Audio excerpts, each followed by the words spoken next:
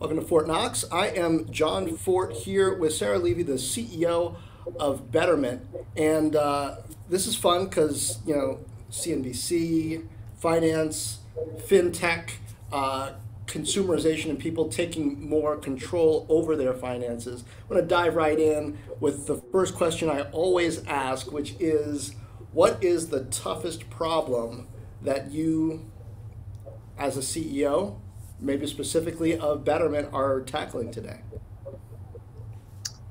I think the toughest problem uh, that I'm tackling is around how to scale a, a high growth company um, and how to keep the culture uh, as authentic and mission driven as where we where our roots uh, began as a company. Okay, so tell me about that in the context of what's also happening in finance right now. The, the market's been on a 10 plus, what are we on, 11 or 12 year run since the financial crisis, out of which Betterment was born, right? And I, I think a lot of, especially the more recent retail investors, don't necessarily hold to the orthodoxy about what makes responsible financial management, right? It's true. Well, I think, you know, it's interesting because this crop of investors has never lived through a downturn right? So I think you know what we know from experience, right, is that long over the long term, diversified investing will give you the best you know long-term outcome but when you're in a bull market like we have been you know people haven't gotten burned and so i think you know you can get a false sense of security in terms of how smart you are and and not realize that there is real you know information asymmetry in the marketplace that ultimately you know Lead, should lead the average investor to put their money in a diversified long-term solution and, and not really to, to gamify their savings. Right. Yeah. In a bull market, everybody's a stock picker, and everybody gets to feel smart at least for streaky periods of time. So, give us a sense of where Betterment is on its trajectory. It started off as pretty narrow, but has gotten a lot broader into savings, into different kinds of financial advice. Um, give a sense of, based on where Betterment has been, where you're headed. Yep. Great question. So today we're the largest digital, independent digital investment advisor in the US. So our first decade, really, um, we started as a, a robo advisor um, and really were pioneers in that category. And then throughout our journey, we added basically different touch points and different ways to reach customers off of that investment platform. So we introduced a SaaS business for advisors, and then we introduced a 401k business for small and medium sized businesses. And let me decode just a moment for those sure. who might not be as savvy. A robo advisor, right, is using software to give people uh, advice about what they should do with their investments and their money, sort of based on the information that they've given about what their goals are. It's it's sort of doing the kind of work that a that a human would do, but you know, software leading the way on that. That's exactly right. And and I would just add that there are a lot of benefits to technology getting involved, right? There are many sort of diversified solutions that the average retail investor can participate in, but it, you would use a robo advisor both for the advice we provide, but also for some of the tax advantage solutions, right? Our technology actually saves customers um, a lot of money over time in taxes, and that's a really important part of how we keep you know, fees low, so it's low cost, it, there's tax savings, and there's diversification. And so all of those things go together in, in what a robo-advisor provides. But the interesting thing I would say, you know, to the kind of trajectory question is the original idea behind robo investing was very set it and forget it, right? I, I don't want to think too hard. I want to put my money away and I want to have that security and that trust. And so all that security and trust still exists. But I think what this bull market has done is it's given people more interest in having a little bit more agency and really making their own choices, right? Investing along the lines of their values, which has become a really important part of the investing um, journey. And so I think one of the things that that we're doing as we speak, and then that I think is sort of reflective of where we're headed on the consumer side, is really to think about how do we introduce choice in a guided way for the customer um, so that they can have a little more agency, but they can also um, have, have the, the help and the support of the experts. And so, an example, a great example of that is in the fall, we launched some socially responsible investing portfolios, or as some would call them, ESG portfolios. Um, you know, in the wake of George Floyd and Breonna Taylor, we launched a social impact fund, we launched a climate impact fund, and we launched a broad impact fund.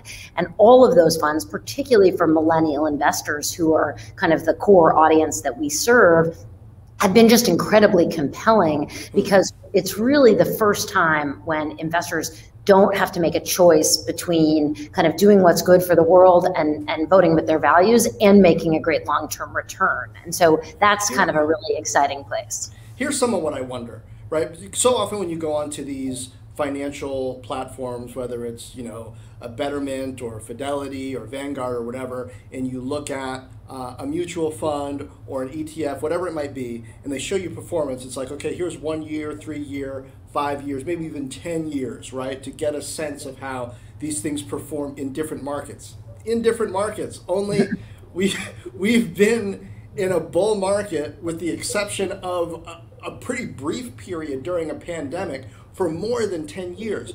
So how does an algorithm compare? How do you get a sense of what's safe or how things might perform under different scenarios when certain types of companies arguably didn't even exist before this type of market that we're in right now? Well, first of all, disclosures are very important, right? So we always disclose past performance is not indicative of future performance. So I think that's really important for investors to understand. You're exactly right. Um, but when you think about sort of the virtues of diversified investing, in some ways, the algorithm, so to speak, is not stock picking really what we're doing is we're constructing portfolios that are representative of the entire market. So one stock goes up, another stock goes down. We can't predict that. The algorithm can't predict that. And you don't need to predict that because on average and over time, the total market is where we have our customers investing. And I think that's that's a really important point. What the algorithm or the technology is doing is things like monitoring volatility, so the ups and downs of the market, right? So that um, so that we can take advantage of tax opportunities in an automated way to lower the tax bill. So I know you get this question all the time. What do you do about crypto? I love crypto personally, so it's not about me personally, but I think it's a really exciting new entrant into the market. And I do think that the cl- our clients are going to want to participate in crypto as an asset class to hold for the long term. And I think that is a reasonable place for people to be curious. And so, what we're exploring now is how do we introduce crypto really as an asset class that has historically not really moved with the equity markets. I mean, we're in a bit of an interesting moment now with crypto and the markets and how they're intersecting. But historically, this has been an asset class that has not moved with the equity markets. And so some of the analysis would suggest that if you have a sliver of crypto in your portfolio, it can actually even further help you diversify. And so if again, if we stick to our knitting with we think diversification and not stock picking is where we belong and is where the where the average investor belongs, how do we responsibly say to the average investor, okay, I understand you hear a lot about crypto. Let us teach you a little bit. Let us allow you to safely incorporate that into your investment strategy, but not to put your life savings on the line. And I think that's really important. How do you do it though? Can you can you have at this point a crypto basket when I mean you've got Bitcoin, you've got Ethereum, and then I mean you you got, you got a lot of yeah you got you got Dogecoin. You do. I mean, can you make a basket of that and, and say that they're all similar because they're crypto, or how? I don't envy you that problem. What do you do? Yeah, well, I, I can't say that I'm personally constructing portfolios. So I, I wouldn't want, and nobody wants me to pick their stocks or their portfolios. So I think the more important thing is that I have incredibly talented, smart, quantitative people, you know, working on the Betterment team who really understand, you know, how to construct a portfolio and how to take into account, you know, the volatility, the liquidity of particular assets. So I think there's there's really a um, a, a, magic in the in the construction of the portfolio. If I were to prognosticate, I would say it will be a small part of a broader portfolio rather than a crypto portfolio per se, because I think that again, while some may want to invest that way, that wouldn't be the fiduciary responsibility that we take at Betterment for guiding them through a sort of long-term responsible outcome. Yeah, you give people what they want, but you can't give them too much necessarily of what they think. Well, everyone can have dessert, but you have to have dinner first, right? There you go. Um, so now I want to talk about you and uh, what brought you to the point where you're the CEO of Betterment. And I like to start at the very beginning and not rush through it. So, um, like way back, wh- where were you born? Tell me about you know the household, siblings, parents. Wow, that we're really starting at the beginning. Okay. Yeah. So I was born in New York City, um, one of the proud few, and I came back to live here. Um, I have a younger brother, um, and my parents, um, in fact, my brother and my parents and I all live within less than a square mile of each other, still in wow. Manhattan. Wow, so, and you, you grew up in Manhattan? I grew up in Manhattan. So tell me about Manhattan and the change that you've seen, because I you know, I, I, grew up in the New York area, you know, Bed-Stuy in the 80s. I was in Bed, you know, 79 to around 85. And Bed-Stuy was way different uh, back back then. Um, tell me about the change that you've seen in New York and sort of what you remember from the environment growing up. All right, well, I'm going to date myself. So I grew up in the 70s in New York and so New York was, I mean, it was not the place it is today at all. It was not nearly as vibrant. You know, real estate prices were cheap. When I think about, you know, some of the apartments that, um, you know, some of our family friends were buying, you know, at the time, it just, it's just dramatically different from, from where we are today. I took the public bus to school starting when I was in third grade. You know, my parents handed me a bus pass and said, you know, you'll figure it out. So it was, you know, the city wasn't as clean, although I guess we've had we've had cycles of that, um, and you know, the safety kind of comes and goes. But it definitely was not the prosperous place that it has become today. Yeah, it wasn't. It wasn't as safe either, but we weren't as worried. Right, right, exactly. right? We didn't have helicopter parenting back then. Right? Yeah, like the the bus pass. I remember, um, you know, on, on scholarship uh, all of us kids, at least me through third grade, went to St. Anne's, right? We lived in Bed-Stuy, but, you know, my dad is a minister, so, you know, we, we would take public transportation from Bed-Stuy to Brooklyn Heights. And my brother, who, you know, I'm in first grade, he's in eighth grade, he's, he's with this first grader taking him on the, on public transit, you know, to, uh, to school. I don't know if we would do that today. I don't think we would. I don't think we would. Although my kids are now in high school and they're pretty free to roam the city. So just a few years later than my third grade, you know, bus escapades. So uh, tell me more about your parents and you know their approach, what they were doing, working on in Manhattan, uh, particularly in the seventies. Sure. Well, my my father was a book publisher, um, and my mother was an antiques dealer. And interestingly, if you were to ask either of them, you know, what do you want to do on the weekends? My dad would read books and roam bookstores, and my mom would, you know, comb antique yards. And so I really took a page from that and thought, you know, I want to be passionate. I want to be as passionate about what I do as they were about what they did. And, and they really both turned passions into professions. Um, and so that's really what led me to the first, I would, I'll call the first act of my career, um, which was in the media business because I just loved movie and television. Uh, and movies and television. And the problem, of course, was that you know no self-respecting business executive would work in the movie business because um, it really wasn't a good business. It's a lot of fun, but it's not a great business. So I went into TV. So tell me, I don't want to get out of that period too quick. As okay. a kid, what were you into? If you were into entertainment, movies, television, like were you Were you always trying to get in front of the TV? Were you into drama on stage? How did that How did that show?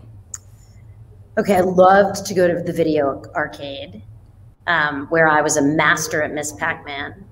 Um, and also Q*bert, but I don't think that game really exists anymore. I don't know Um, why either. I mean, you know, I used to so so I started a business. I started my first business. I was probably 10 9 or 10 years old and and we were um, out at the beach and we would wagon. I would have a little wagon and i would go to the ferry and i would meet people coming off the wagon off the ferry and i would carry their luggage basically to their house so that they would pay me two or three dollars and then i would take my two or three dollars and i would go to the video arcade until it ran out and then i would go back and meet the next ferry and earn myself more money and go back to the video arcade. So that Now, was my first job. if you were into Q*bert, and that's the one where he jumped up the pyramid, right? Yeah, the- exactly. I remember, I remember that. That was one of the that was one of the good ones. And I associate that also with Frogger because it's like you're having to Yeah, crossing the street. or you're crossing the street, and so it was quarters, right? You were It was quarters. were Oh yeah, you were those the machine a quarter, a quarter at a time. Of course. Yeah, and and what was the attitude toward video games at the time? Were your parents okay with you spending the time in in the arcade? Were you like competitive with other kids, girls, boys in there? You know, going out. Honestly, they were just happy to be rid of me. I think. You know, I was I was earning my own money and I was out of their hair. I mean, what more could you want as a parent, really? Yeah, totally. That's I have that Stranger Things image, right, of kids on bikes and sort of roaming and figuring it out. Yeah. Um, Without all the monsters or supernaturalness, but yeah.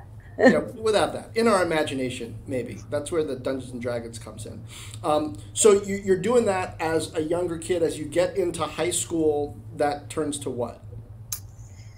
So I was always a math student, um, a math and science student. I also liked languages, but I was sort of um, uniquely a math girl, I would say. You know, as, as I grew up, and um, I was I started an all girls school, but ultimately went to co-ed school, and um, when I graduated, thought about um, thought about becoming a, a math major. Um, ultimately, didn't make that choice, but um, but thought about that. And I was the editor of the newspaper in school. Um, I did model Congress, which was you know which was fun. Um, all kinds of interests. My my passion um, was summer camp.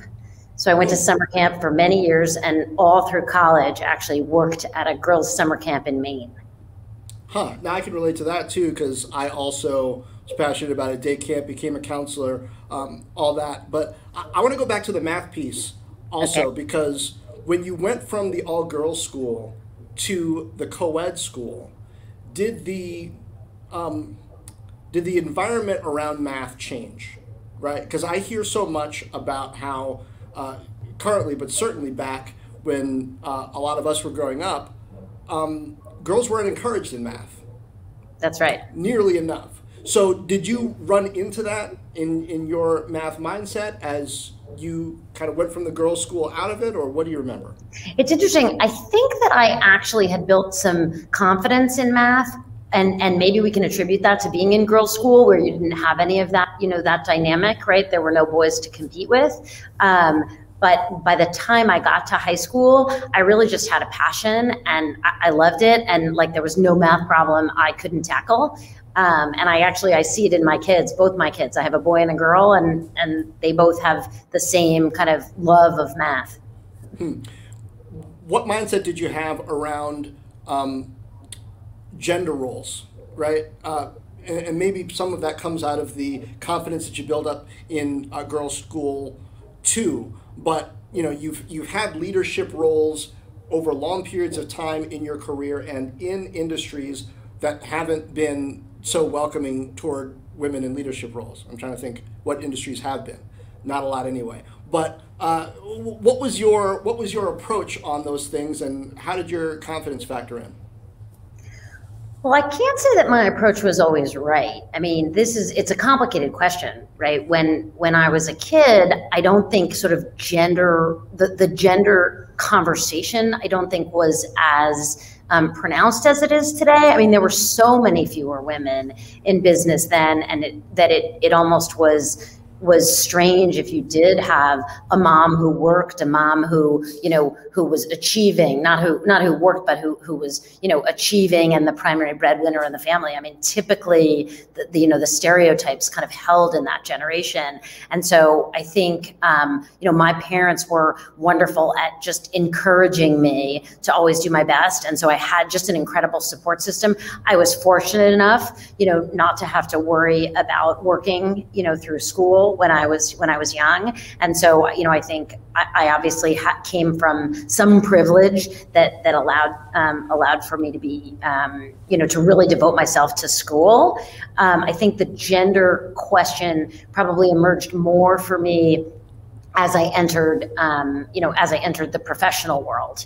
Um, where you're right, you know, although media actually has a lot of women, and I spent 25 years in media, um, but they don't have a lot of women at the top.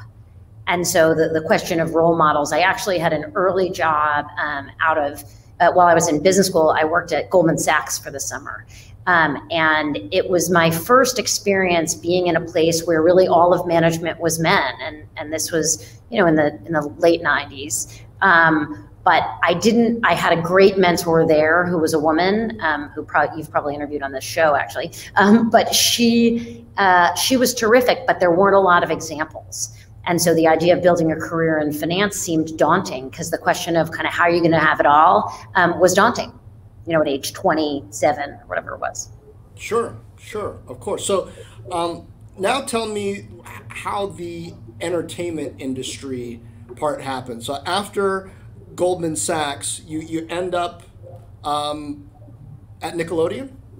Well, it's it, yes. Um, I actually, before Goldman Sachs, I worked at Disney. So my first job out of college was at Disney. So I really started on that kind of media path. Um, it was it was the time when Disney had just started re-releasing some of the, or, or had just reinvigorated their animation business. So it was the time of The Little Mermaid and Aladdin and, and uh, Beauty and the Beast and all those movies. Um, and it was just an exciting company. And so I moved, I was an East Coaster. I moved to the West Coast, um, worked for Disney for a couple years, and then in business school, made my way through Goldman, had this kind of partly because of gender, but I think, you know, had this experience where I thought, I'm not sure if a career in finance is going to be right for me, but I, I had been so passionate about media. And so went from there to Nickelodeon. So you were a senior analyst at Disney. What did that mean? It meant I was, you know, writing board presentations and building financial models and doing strategy work, um, really strategy work for the studio. Um, I, I not being uh, used to thinking on that side of the media business. Tell me, like when it when it as it applies to movies or what did that look like? Okay, so my biggest project, which now maybe doesn't seem like a large merger, but at the time was a huge merger, um, I worked on the Disney Cap Cities merger. So when Disney bought ABC and ESPN, um, and I actually, um, I got to bring Warren Buffett coffee. That was a highlight. so it basically meant I was the low woman on the totem pole, and I was, you know, doing the copies and running the financial analysis, and you know, helping helping support senior management to make important decisions, but you know, doing the grunt work. Yeah, Disney Cap Cities. That was a big deal. I remember Nineteen you know, billion. talking about that in college and how media was consolidating, and you know, that was a very big deal. Okay, so then Nickelodeon, and this is um, this is what the rise of Nickelodeon, right? Oh, it was a lot of fun. So I remember the first time um, we we introduced SpongeBob. Right. So we were in a meeting and, and I remember exactly where we were. And I remember the guy who stood up, you know, on the chair and said, All right, we're going to tell you about this sea sponge. And it's a crazy idea. And he starts describing this crazy show. And we thought, that is never going to work and you know here we are right? The multi-billion dollar franchise famous last words that it is. So uh, it was a great run. You know i spent 18 years at nickelodeon. Um, i started in the business development and strategy area and then grew ultimately into the chief operating officer role and built a lot of businesses. When i got to nickelodeon we were really a cable business and brand and we were just getting into some of our you know original animated production and we built a consumer products business. We went into the hotel business opened a nice resort in the dominican republic um, op- got into the theme park business um, so really did all sorts of exciting things with just a fabulous brand um, and some great uh, you know great content. Why do you think spongebob worked? Optimism SpongeBob is the most optimistic character in the world. And and everyone loves an optimist. Hmm. Hmm. And, but financially, I mean, there are very few pessimistic characters, right? I mean, you got Eeyore, and you could probably like, I mean, for kids, right? Like who are just down. But usually, even if there are, they're they're counterbalanced. I mean, Pooh's optimistic. Um, what I mean, and as you alluded to, SpongeBob, the, the whole concept is wacky, but yeah. not. Ju- it's worked so well. Like I remember, you know. I'm a little too old to be in SpongeBob, but I remember when it came, adults sort of liked SpongeBob. Maybe in a way on TV, in a way that had only been done in movies. It was one of those uh, characters that played at multiple age levels. Yeah, look, the humor, that's exactly right. right? The humor worked on multiple levels. Um, we ultimately did a, a, Broadway show that was one of the most fabulous, fun projects of my of my Nickelodeon career. Um, we were on Broadway for 10 months, but we developed the, the Broadway show for 10 years. Wow. Um, Amazing. And what did you see happen in Nickelodeon and to Nickelodeon as your time there? Uh, sort of drew to a close and you transitioned over to broader Viacom? Sure. Well, you know, we had a great run. We grew a great brand, a beloved brand. Um, but I think ultimately we were really, really dependent on um, the cable business. And while we while we built other extensions, they they were always kind of anchored on the cable business. And so what happened probably after you know 12 or 15 years there. Um, you know we had had these really great growth years and then you know streaming came on the scene. And you know we could debate whether whether we made the wrong choice or not but i, I remember the debate around selling spongebob to netflix and you know that was was a really really hard time for traditional cable and broadcast right? Because there was just a better way right? The consumer didn't like the cable bundle. The consumer didn't like didn't and doesn't right like advertising and you know enter netflix with with a just a new way to do things. And the idea that sort of content is king is always what we believed. And then suddenly platform was queen right? And and the idea that the power dynamic really shifted from the content to the platform and we believed at that time that there was some incremental revenue to be had, and, and it's a great lesson sort of in retrospect. But we believed that, you know, sort of if we gave them the content, that would be okay. We would get incremental revenue, and then we would take the content back because they were just renting it. And then if they got bigger, then we would get paid more for that content. And what I think we underappreciated was that the experience was so far superior that that our great content drew consumers there but then the experience kept them there regardless of what the content was. And then they were able to build you know fantastic original content around it. And then you know the rest kind of is history. So um, and the, the lessons are so interesting. And it wasn't just you know nickelodeon viacom etc who were thinking in that mindset. Would the thing to do have been in that situation lean into the shift, the disruption, the change. Develop your own over the top app. And, you know, you, you got to have the king and the queen, right? Like, you, content might be king, but don't don't leave it alone out there. Also have the platform that you marry to it and bring them out together.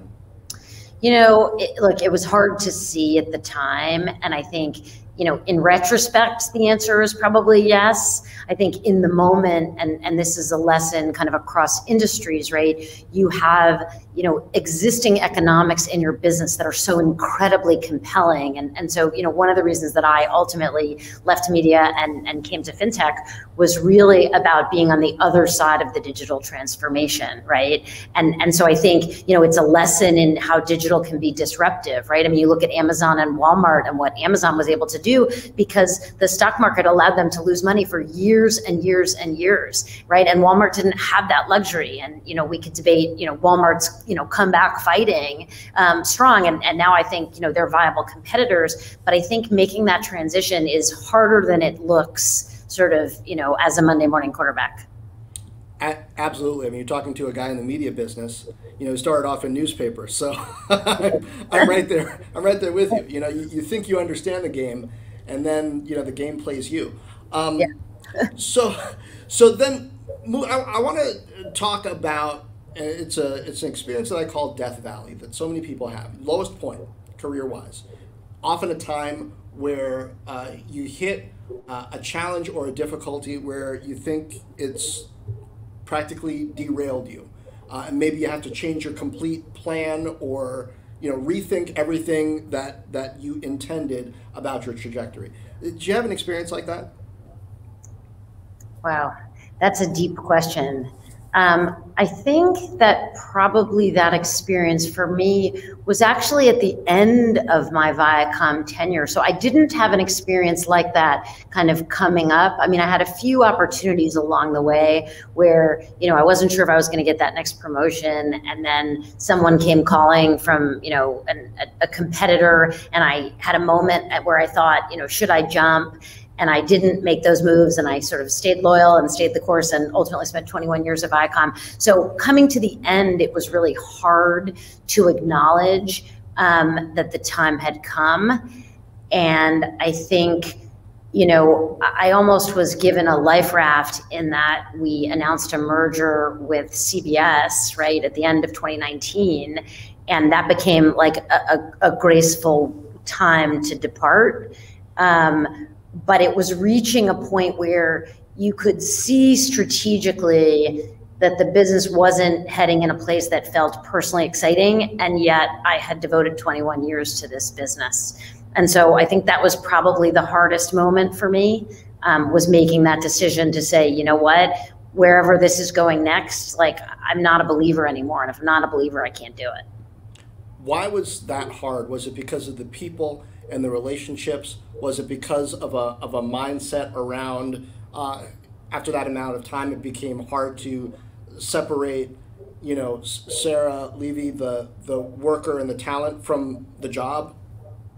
I think all of the above. I think you know you you get into senior management and and life gets fancy, right? You know it's everything, and you know it, it's what I knew, right? For 21 years, I went to the same building right every day. Like nobody does that anymore right? My kids I, I, raised my kids at nickelodeon and they and and i met my colleagues families and their kids and we had all kind of grown up and built built something together. And so realizing that like this thing that we've built the world is changing around us um, and there may not be an exciting next act. Is just something you want to win right? We wanted to win and we kept winning and then we stopped winning and it was hard.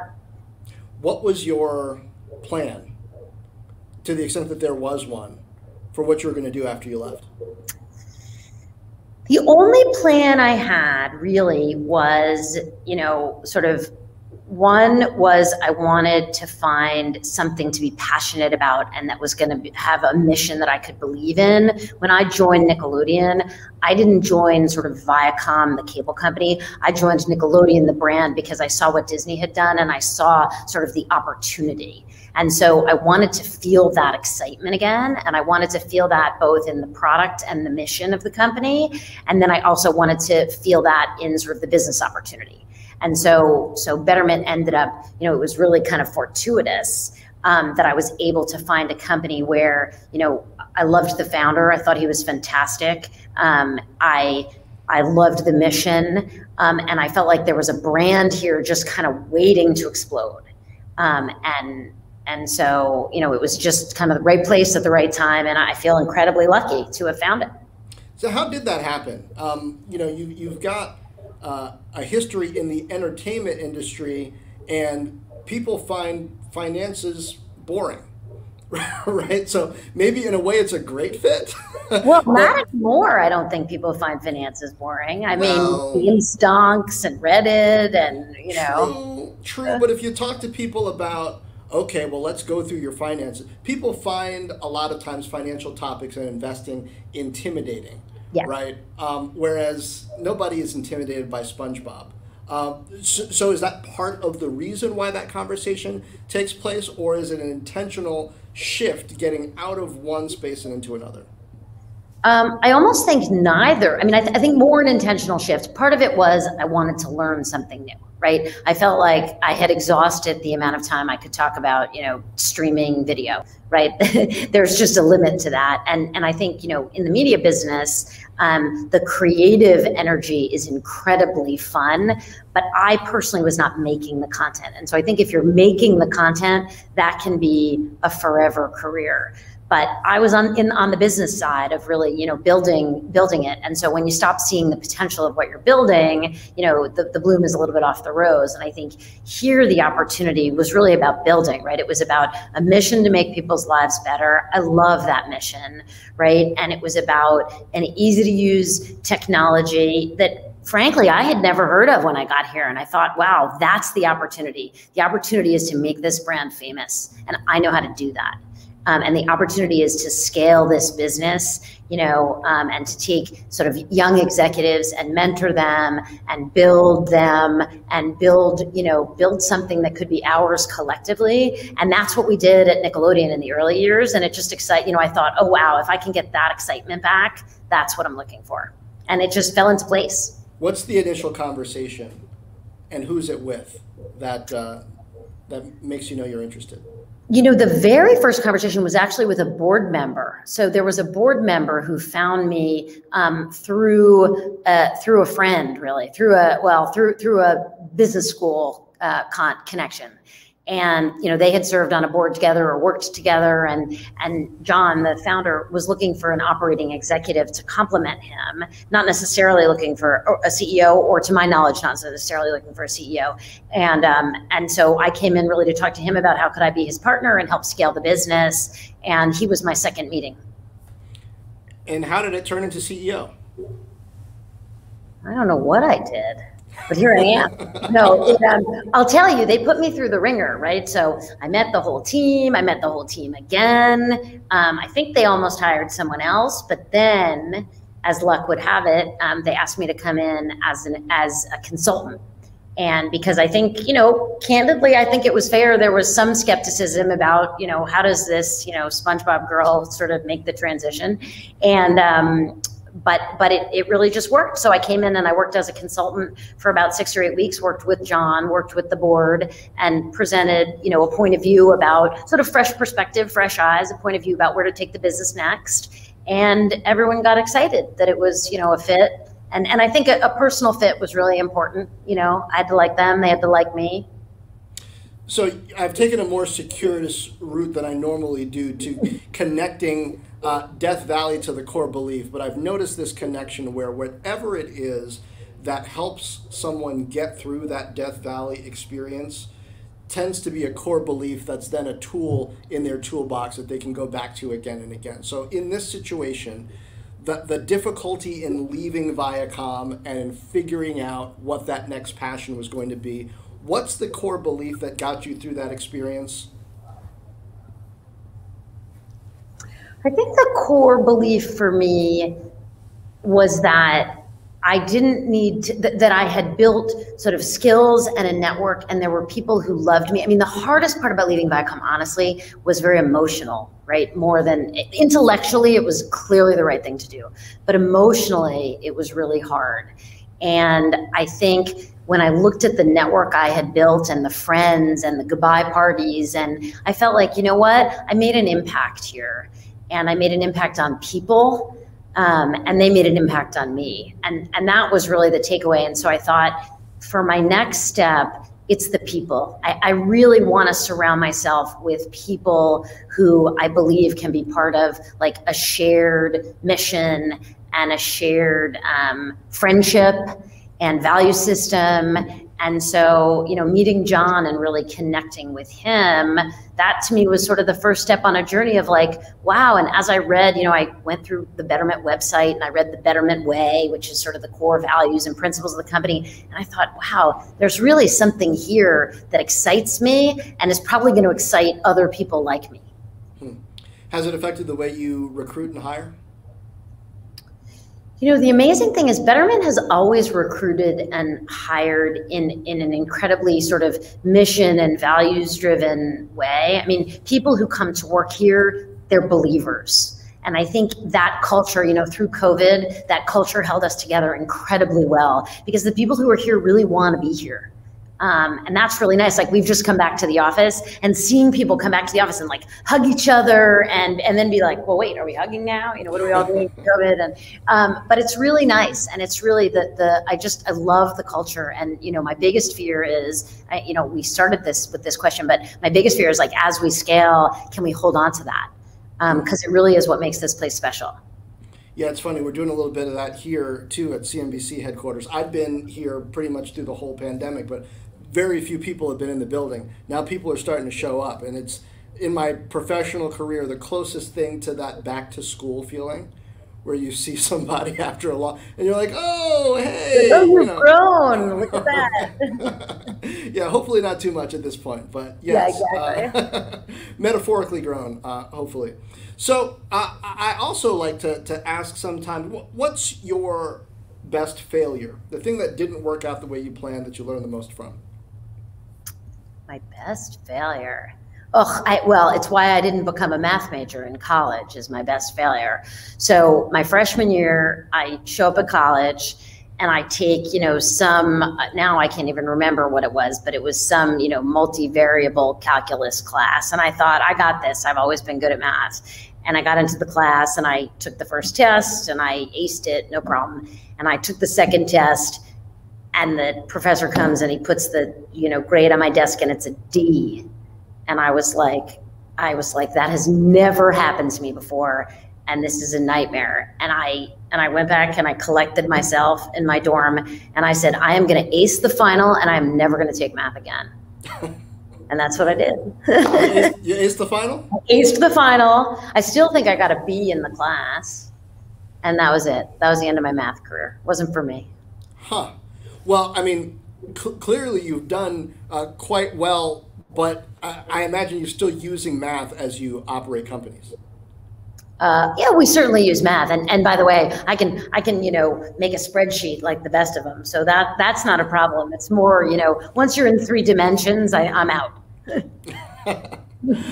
okay, so now tell me how much are you planning for uh, a market shift? How much do you think about that as you think about leading betterment and the sort of brand promise and uh, and presentation that you make to the new customer uh, for, for what you're going to offer? I mean, I'm surprised that we're still in the kind of market that we're in, given what we've been through. But how much is expecting a shift at some point part of how you're framing things? Well, look, we can't control the markets. So you have to always be ready for a downturn. I think the amazing thing, and, and one of the places where I have, you know, incrementally shifted our focus since I got here, because this was a business that existed in our portfolio, but was a little bit of a side hustle more so than the than the core of what we did, um, is our 401k business. And and when I think about, and and I will answer your question, and this is um, just give me a little rope. So the um, when when you think about sort of the issues of our day, right? Climate is clearly an issue, you know, that everyone's grappling with. Um, retirement is another major, major issue for this country, and and the notion that you know Social Security may not be enough long term, or is unlikely to be enough to support this next generation, and I see that as a problem that we can help solve for millions of Americans. And so to me, what is really interesting about where our business is evolving is sure, you can have a taxable long term account here, but you can also, as a business, small business, you could set up your 401k here and we can create for individuals a financial a long-term financial wellness story for them that is not about a market up or a market down right? It's about time is your secret weapon and starting now even if it's five dollars at a time starting now is better than starting later. And it's just the power of compounding. So so to me i really think about like how can we make this brand stand for long term investing and retirement and security. And so we want to be, you know, easy to use and delightful, but we ultimately want to make your life better at the end. You know, and we want you to have less stress in your life, right? Day trading, we've done some, um, you know, we've talked to a bunch of customers and pr- prospective customers and about this, all this like meme stock stuff, and and you know, some of the one of the issues is that people who are day trading are stressed right? We want to take the stress out of your finances. And finances are stressful for most Americans, for all, really all Americans. And so, this idea that we can alleviate your stress and set you up for a better long term, to me, that's where I don't worry about market fluctuations because you ride the tide. And, and so, you know, last March, things dipped. And our advice was like, steel yourself. This is a blip and sure enough, like the, the those who held on came right out of it just as strong. Um, so I think that that long-term perspective is just we're just going to keep hammering that home, which is like over the long term, on average and over time, diversify.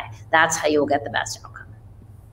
All right. Well, it is it is tried and true advice, but backed up now by some uh, algorithms and technology that hopefully make it easier for people to uh, to latch onto that and to continue, as you mentioned, to sort of dollar cost average in uh, without as much um, effort, and then tax advantages too. Sarah Levy, CEO of Betterment, thanks for joining me on Fortt Knox. Thanks so much. Thanks for having me.